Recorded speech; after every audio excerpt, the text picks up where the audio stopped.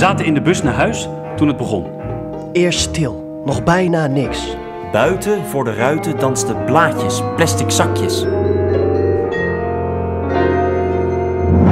Maar al snel knakten takken, bogen bomen, doken, schuren in elkaar. Lucht werd paars, lucht werd zwart. Bliksem, donder, knetterhard. We liepen verder, pas voor pas. Ik liep voorop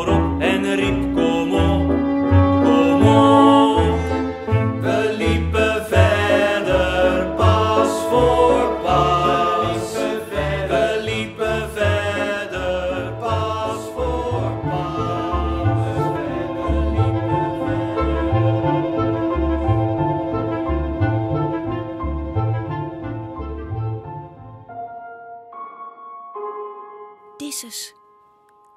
Disses. Stop je oren dicht. Stop je oren dicht.